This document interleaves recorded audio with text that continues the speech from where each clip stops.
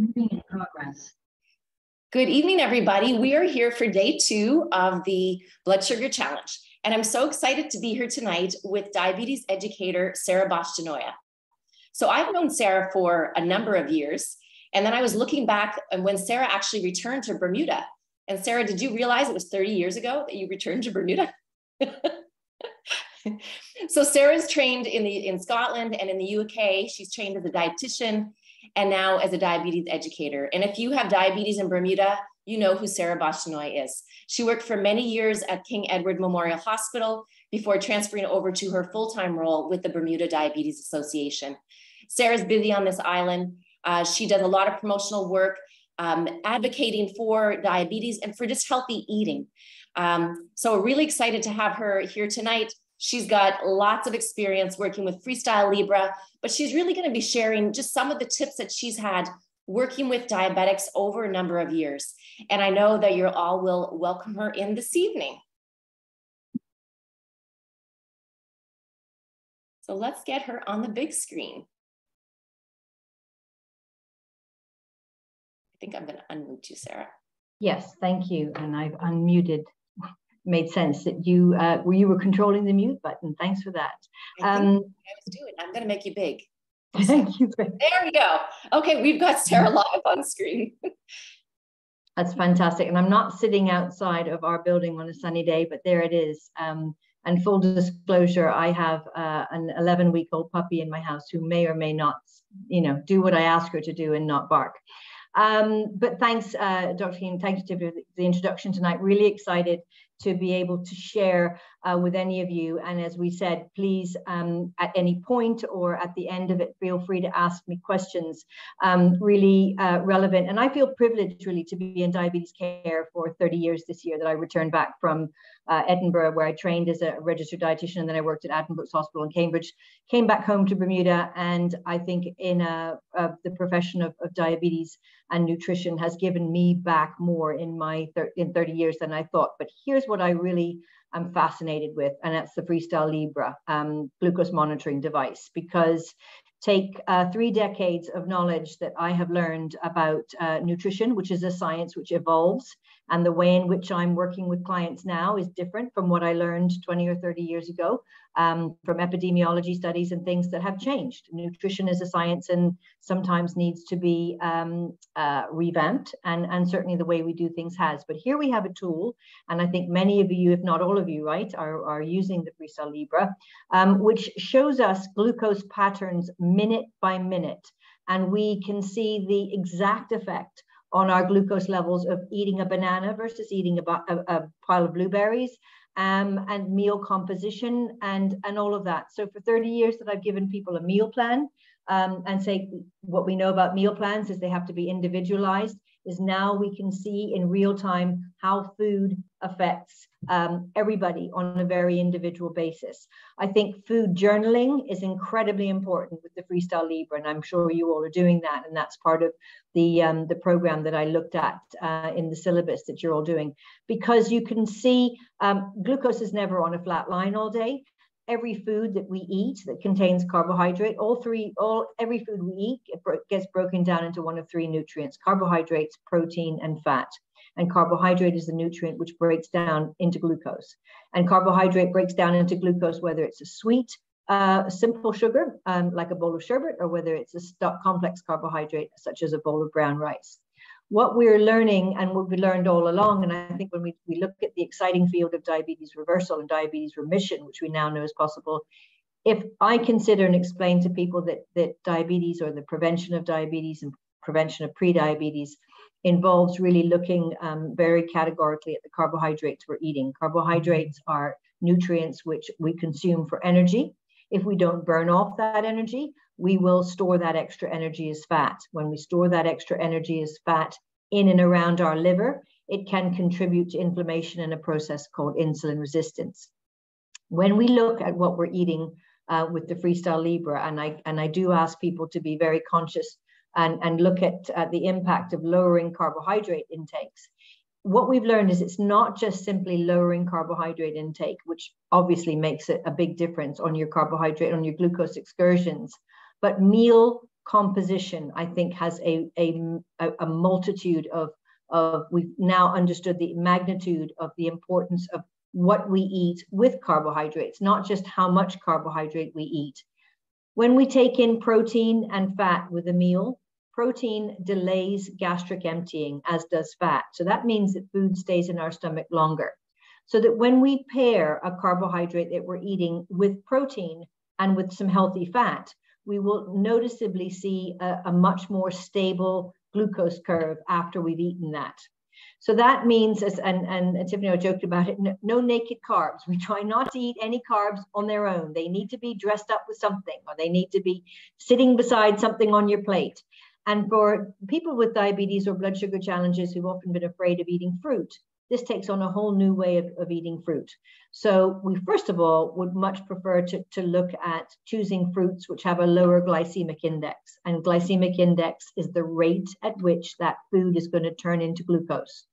Cold winter fruits that have had a frost, apples, berries, all berries, raspberries, blueberries, blackberries, pears, and to a certain extent citrus as well, have a lower glycemic index than do our tropical uh, counterparts, mangoes, bananas, pineapple, all the things that you have on a holiday wearing a bathing suit. They're not the friends. They're, those are the fruits that are going to raise your glucose levels quickly. They have a high glycemic index. So when we're looking at trying to lower carbohydrate intake with fruits, I typically tell people to try and limit to two fruit servings a day and when you have fruit, to pair it with a carb, to pair it with protein, a handful of almonds, walnuts, a small Babybel cheese, a little bit of feta cheese, feta and and uh, and fruit goes quite nicely together, and a scoop of or a scoop of peanut butter or almond nut butter. So that protein and that fruit really makes a difference.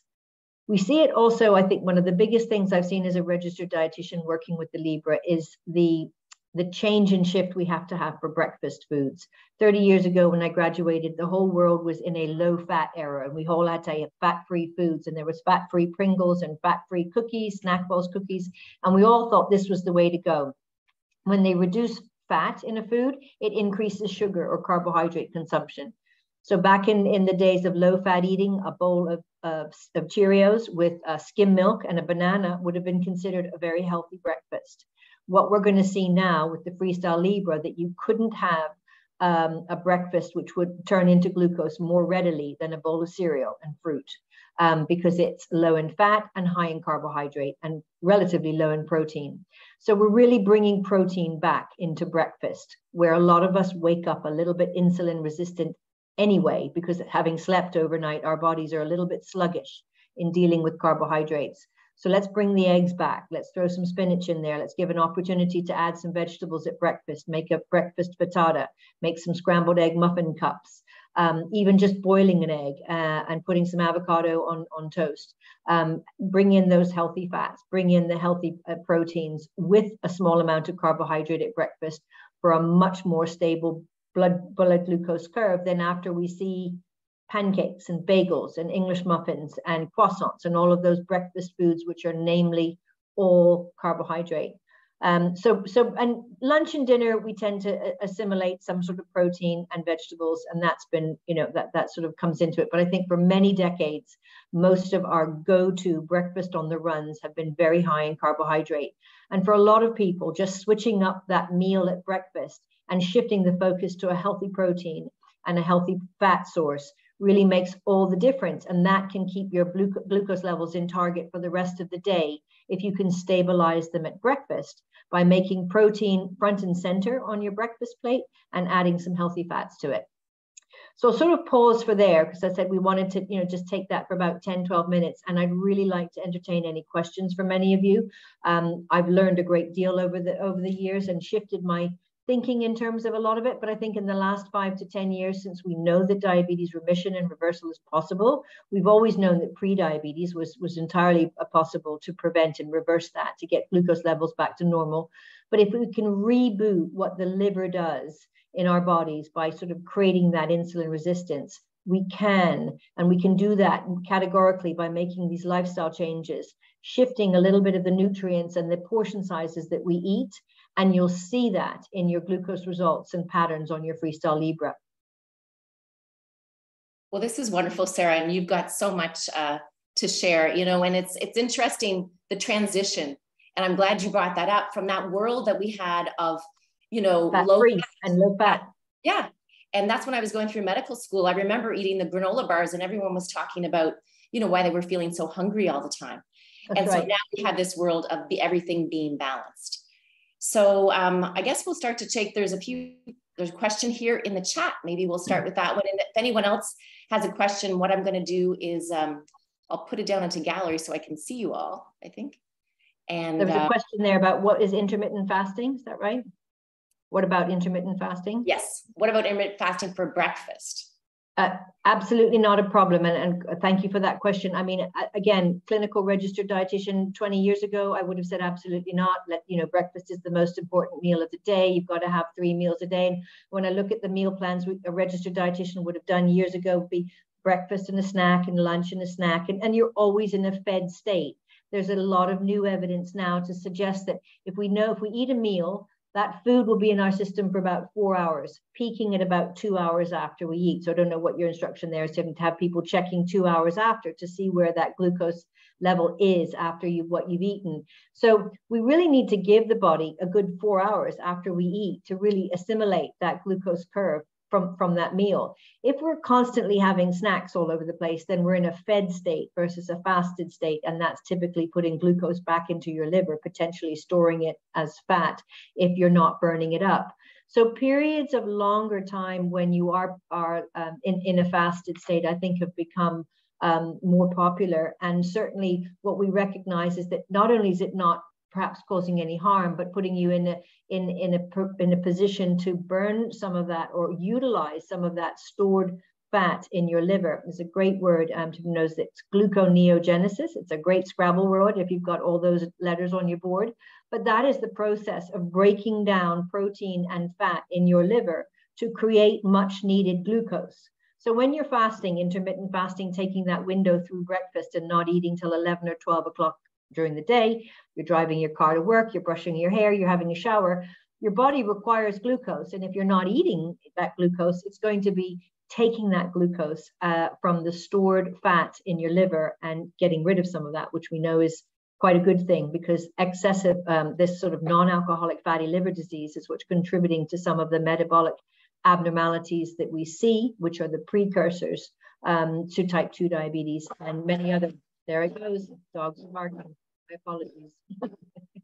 and I'm glad you brought that up, Sara, you know, because we do see when you talk about diabetes reversal, something like adding fasting to your program or your regimen is really one of those things because it literally gives the body time to get the liver cleaned up when right. we just stop eating because the body's pretty smart right it does know what to do and again we are talking about right now type 2 diabetics right we're not talking right. about the type Absolutely. one, just to clarify the, that. distinction between diabetes remission and reversal is a conversation only in and around type 2 diabetes.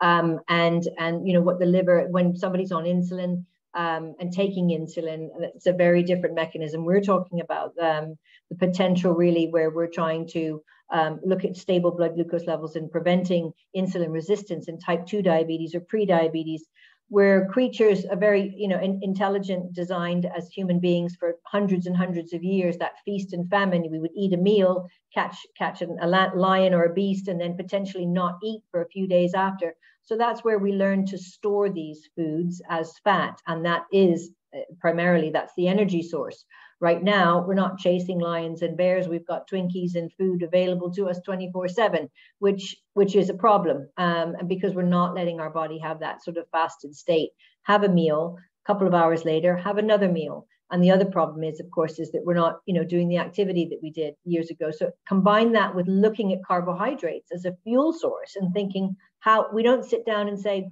well, I'm going to be this much active for the next four hours. So here's how much carbohydrate I eat. People don't look like we don't eat like that. We just eat because carbohydrates taste nice. And nobody came running after you with a green bean when you fell off your bike. Your mother or your granny came after you with a lollipop or a cookie. So we associate carbohydrates with quite nice things as well. So all of this is behavior. And tiffany knows that i, I quite i you know we put those foods in. Where are they going to come in? Where do we use that word moderation and and figure out how they all fit in and I think, you know, when it comes to, you know, non-alcoholic fatty liver disease, it's the number one leading cause now of liver transplants. So yeah. it really is something that needs to be recognized and know that it can be it can be overcome too. That can be reversed. So we have and as you said, is that fat is coming from not fat. We've talked about non-alcoholic fatty liver diseases from excessive carbohydrates, which my body, which the insulin has, what is it known to do? The extra insulin, when my muscle cells are full and glycogen stuff, it takes it to the liver and it stores it as fat. And so the predominant source of that fat in, stored in the liver is an excessive intake of carbohydrate that we're not burning off. That's right. Remember, it's the carbs, not the fat. And you know, there's a lot of uh, I think, you know, a lot of health care professionals out there that don't quite get that part either, right? It's the mm-hmm. sugar and the carbs that matter. So questions about fasting. So will black coffee break a mm-hmm. fast? And do vitamins break a fast? No, no. People can continue, yeah, with, with a black coffee with no milk in it, it, you will not cause any glucose excursion. Now, funnily enough, a lot of people, type 1 diabetes and type 2 diabetes, will see on your Freestyle Libres that caffeine in a black cup, cup of coffee might cause a glucose spike. And that's the caffeine, the adrenaline kind of a spike that we see sometimes. And some of my patients with type 1 diabetes actually have to give a unit or so of insulin for a cup of coffee. But when we're talking about the caloric and, and breaking that fast and causing um, uh, sort of an insulin response, it shouldn't happen with coffee being black without milk um, nor um, taking vitamins. Although, um, as, a, as a dietitian, I've always said that we do get um, much better absorption um, and bioavailability of a, a, vitamin supplement if you do take it with food. So even if you're skipping breakfast, maybe you want to take your vitamin supplement with lunch or the first time that you eat. Yeah, especially the fat soluble ones too, like the vitamin Correct. D, if people are taking the vitamin D. Really um, increases the availability of it, yes, to have it with some food. And a question, Sara, one thing that came up was things that spike people's um, on the uh, Freestyle Libre monitor. So a few people have commented that, you know, with ex with intense exercise, we'll see the, the sugar levels go up, sometimes even with a hot shower. Are there other, and like now you mentioned about the coffee from the caffeine spike, are there other areas where it kind of goes up unexpectedly? So it's it's a it's an adrenaline response like that right? And it is stress too. I mean you know and you probably can speak on the part of physicians. It's hard when we discuss the effect of stress because it's not measurable. You're not having eight ounces of stress today versus 16 ounces of stress yesterday. Anything that causes the body to have that sort of adrenaline kind of effect. So um, people will notice more with weights or an aerobic or a burst of energy if you're running a sprint, a gentle walk. Um, but you know, if you're fast pacing cycling, if you're doing something, a real burst of aerobic activity or anaerobic lifting weights, you will see. Um, and that again is, is a sudden demand for glucose by the muscles um, because it, it needs an increased source of it. And so it says, hey, liver, come on, shoot me some more glucose. And that's what causes that spike. The stress you know, if you just put the phone down from a company that you're arguing with a bill or something like that, or you've got off, you know, you kicked the cat or tripped over, you know, bumped your car and you're stressed in the parking lot. That stress causes, again, that same adrenaline release, that fight or flight. And as I like to compare to people going out in an army 30 years ago on horseback with a, a sword and shield, and you've got 300 men coming towards you with a shield. Well, that was our body's response is to get the adrenaline to get that glucose going. Well, in modern day times, we're not fighting in an army like that anymore, but that same reaction to stress causes the body to uh, increase release of glucose um, through those adrenaline type hormones. So, not measurable, it will be stress um, in, in any shape or form. It can be intense exercise, it can be caffeine. Um, illness, illness can cause a spike as well. So if you're fighting a, uh, not a, not a spike, but you might generally see that if you're um, uh, fighting a cold, fighting an infection, you might see for a few days your sugars might run a little bit higher for some people. I think there was a question about a spike in sleep. Sleep yes. shouldn't cause it to spike. sleep should be putting your body into resting mode. Um, I don't know if you're having a dream about battling a dragon. I'm not sure, but generally sleep doesn't cause uh, a spike, and you know, or, or a sleep supplement like chamomile or melatonin. No, it, it shouldn't. Not really the times I start to see some, not so much spikes, but overall high values is with sleep apnea. And you know, I yeah. screen so many patients because sleep apnea is a stress on the body, right? They're, you're losing your oxygen, so you're going hypoxic, and the body's like, "I'm in stress mode." uh, uh, what's the interesting to say about stress and we're talking about again this this um, the, the early stages of insulin resistance or pre-diabetes when we talk about pre-diabetes there are two different conditions impaired fasting glucose or impaired glucose tolerance and a lot of people if you go to and, and you've got a screening done by your doctor and your waking up levels are a little bit higher what's happening while you sleep is that liver is leaking or putting out too much glucose overnight. So some people, maybe the question that was asked here in the chat was, you can see on your freestyle Libre, some people wake up and they say, gosh, I haven't eaten anything and my sugar's starting to go up or it's starting to climb a little bit before I wake up. And that is what I call your hepatic or your liver's release of glucose people with diabetes type 1 will see that too. It's called the dawn phenomenon as your body's getting ready to wake up. It's like an engine or a refrigerator suddenly coming on in a room and it gets ready with this burst of glucose being released. Um, but in type 2 diabetes, what we're trying to do in clean up or reboot this liver and, and, and, and really getting rid of this um, non alcoholic fatty liver disease is to stop that liver from being so what's the word to them negligent or leaky in, in that capacity to release too much glucose. And it happens when we're waking up in the morning. Some people say i haven't done a darn thing. I haven't eaten anything. And i see if i do nothing my glucose levels rise slowly in the morning and that's coming from the liver. That's great sara. And what about the opposite a drop in sleep when the well, glucose goes down Mm-hmm. That's good. I mean, if anything, to be honest, if it's if it's not too low, then that's a good thing. That shows me that your liver is not acting up and releasing too much glucose as you sleep. And we should be going into resting mode overnight, and it shouldn't be, you know, uh, leaking. You shouldn't have too much glucose produced overnight. You should have, you know, every minute of the day, every hour, we are our liver and our pancreas is regulating our glucose levels in a normal range all day long if we don't have diabetes. So there's a little bit of insulin release regulating it in a normal range and there's a little bit of uh, glucose being released by the liver when we're not eating. If you and i if all of us were sitting on an airplane and it was pulled over on a runway and we didn't have we had a diversion for five or six hours if we didn't have diabetes we weren't on meds our liver should take care of that by keeping our glucose levels regulated um, so when you go to sleep at night and your glucose levels are regulated, they're going down somewhat, they're not going up, then your blood sugar, then your liver is doing what it's supposed to do.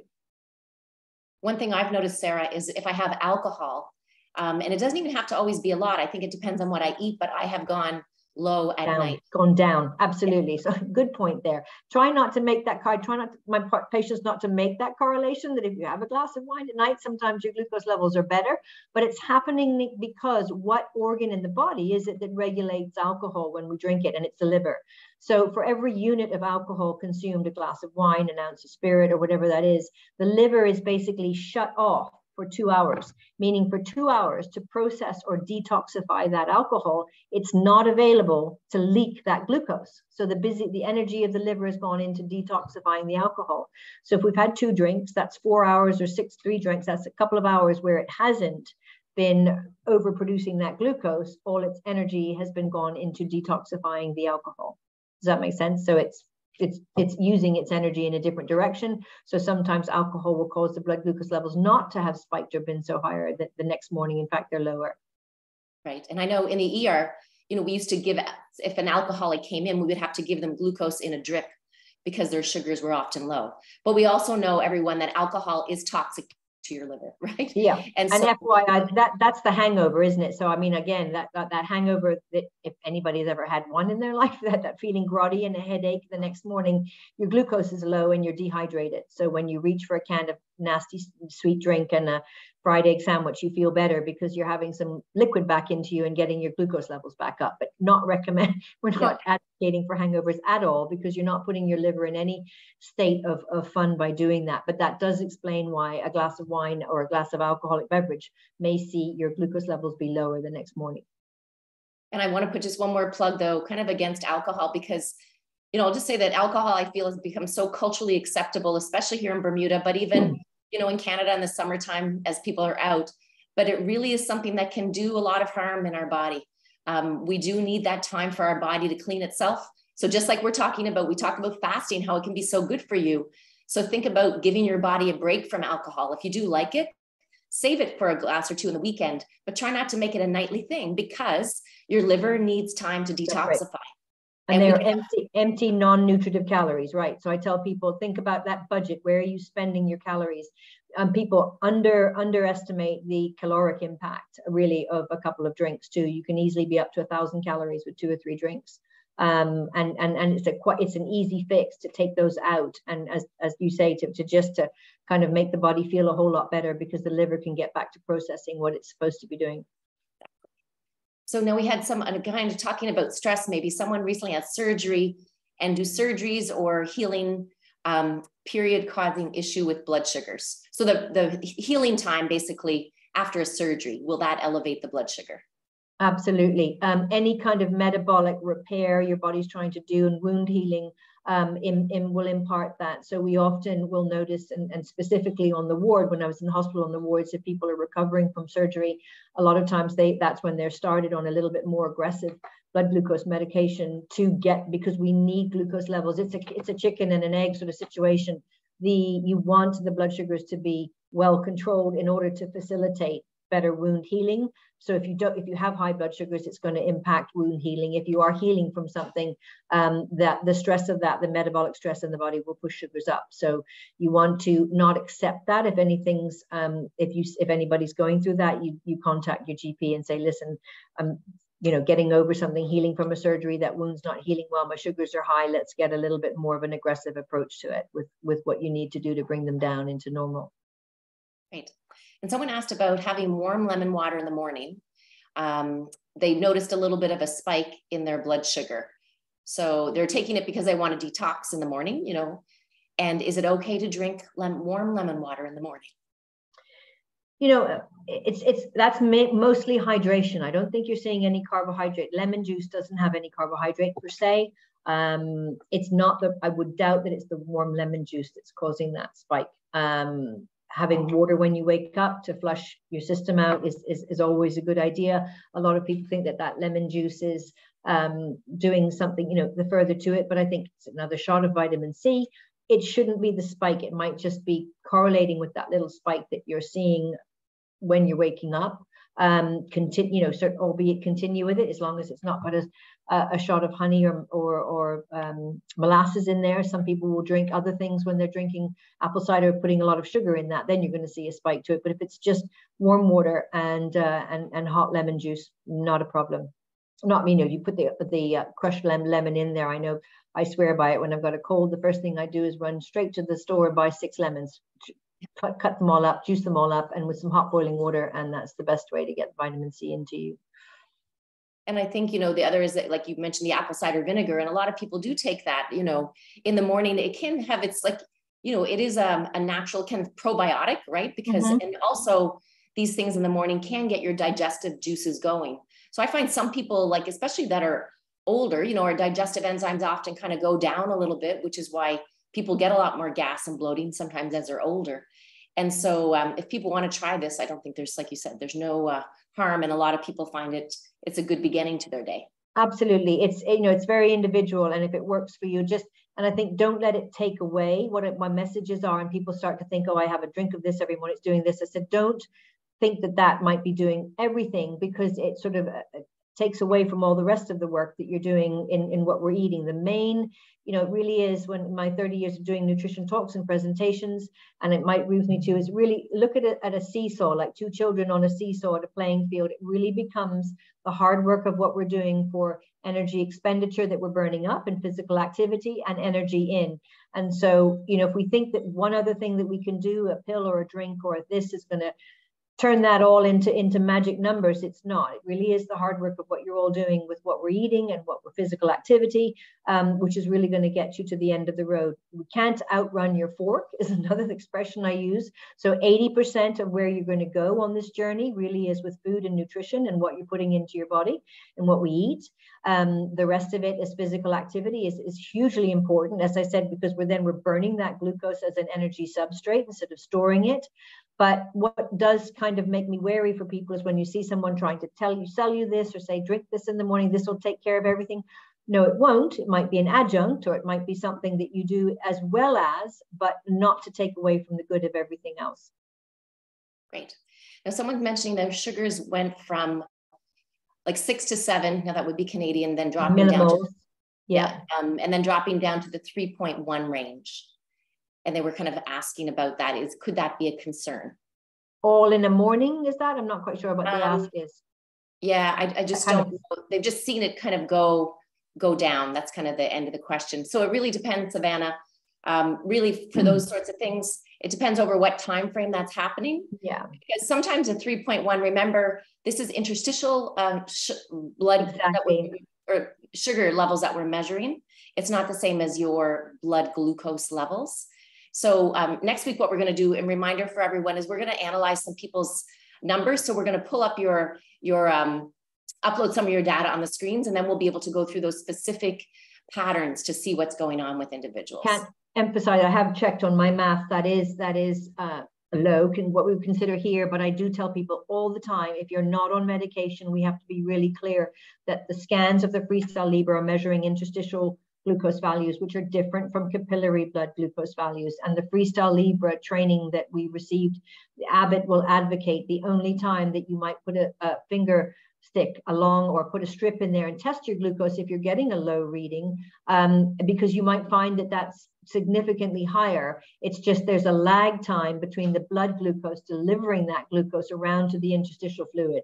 So, um, you know, never be too concerned. But if, if you're on medication or glucose lowering medication, you might want to check that. But but for the most part, if you're just looking at what we're doing, and many times that I've worn the Freestyle Libre for you too, you've seen it where we, we just run low for a day. And that's if I was finger pricking, it would be in a much different range. And she said it was at night. So for sure, she just said, and you know, often at night you could see a number like that. Yeah. Um, and is there any other reasons that sugars would go at night? Why they would go low without the alcohol? Like I know one thing they mentioned is some people if they lay on their sensor, it can give them falsely low readings. Yeah. Um, are there other times you see people go low? Um, I mean, not without alcohol. No, we do have, and this is something you know, over five years now. We've we've had the sensor here in Bermuda for three, four years, and so I'm putting people on it every day, every week.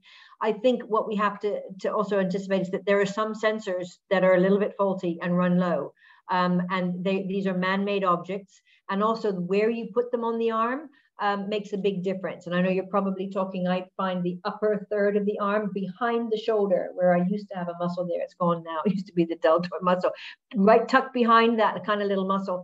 If you're putting them too far front of the arm, if you're putting them anywhere where the filament can get nudged or, or knocked, mm-hmm. sometimes anything that sensors filament underneath your skin is ridiculously sensitive it's supposed to be sensitive. But if it's moved, there, there are just some things. And I tell people if it doesn't feel right, if you're getting a couple of days of low readings, don't jump up and down and get excited or think that you're too low. It's probably the sensor. You've got a you've got a sensor that's just reading low.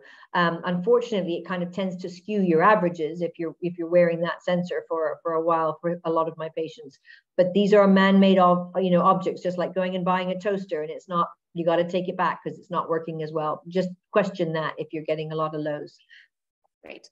And what about uh, does uh, perimenopause and menopause, how does that affect blood sugar levels?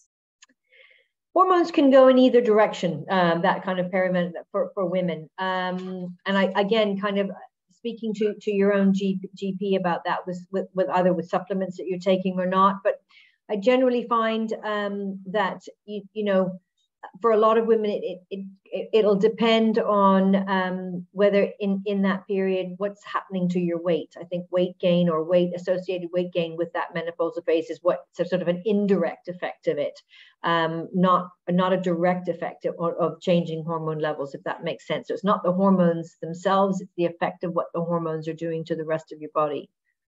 Right. And we see so a lot of, you know, insulin resistance rises when you go into menopause and perimenopause, that whole shift begins to happen. Exactly. It's the effect, it's the effect of every, it's the knock-on effect of what that's doing. Um, okay. Well, we've been busy. I knew you would be busy, Sara. Are there any more questions out there? Maybe I'll just open the screen up. Um, if people just wanted to ask Sara anything in person.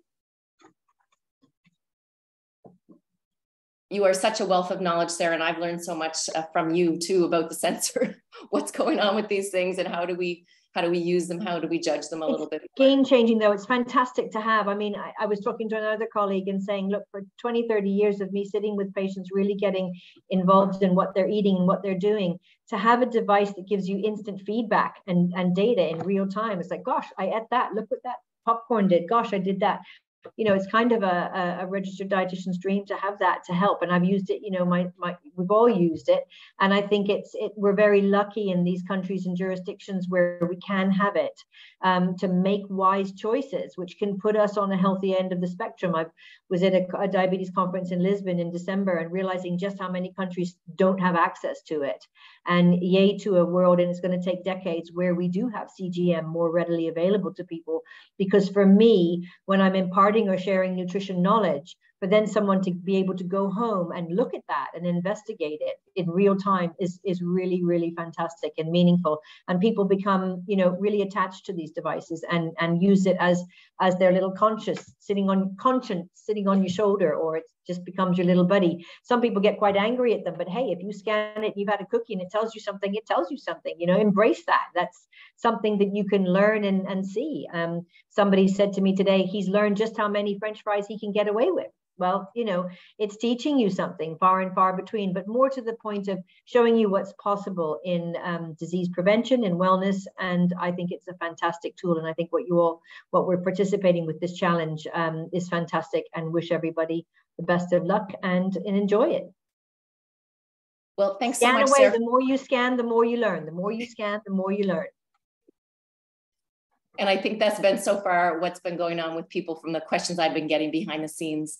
So thank you so much, Sara. You know, it's wonderful to hear that this is a game changer tool for you. You know, as a dietitian that's been in this industry and working with patients for 30 years, this can be game changer. And for those that are really trying to understand their health more, this is why becoming more aware of your body, the patterns that are going on, it's going to get you onto that pathway to wellness.